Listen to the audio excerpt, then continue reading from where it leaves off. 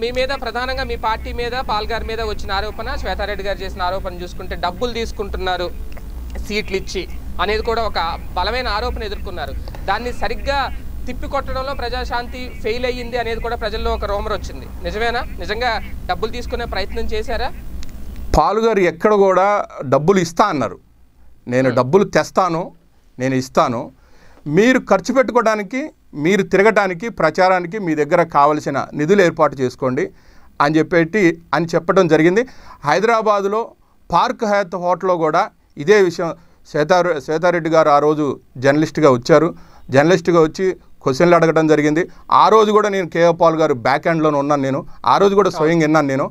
స్వయం విన్నప్పుడు కూడా శ్వేతారెడ్డి గారు అన్నారు నాకు కూడా ఒక సీటు కావాలి మహిళల కంటే. నీకు తప్పకుండా ఇస్తానమ్మా. మరి నీకు కావాల్సిన నువ్వు తిరగడానికి ప్రచారానికి కావాల్సిన పేపర్ ప్రింటింగ్ పేపర్స్ కానివ్వండి మిగతా పోస్టర్స్ కానివ్వండి నీకు ఒక వెహికల్ కానీ అన్ని రెడీ చేసుకో.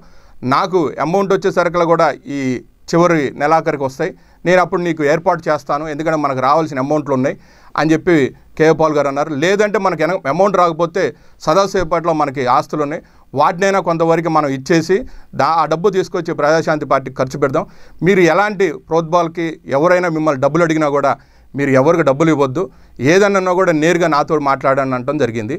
ఆ శ్వేతారెడ్డి గారు మరి ఎవరితోటి ఏ విధంగా ఈ లాలూచి అనేది పడ్డారనేది తెలియదు దాని తర్వాత కేఏ పాల్ గారిని ఏదో చేద్దామని చూశారు.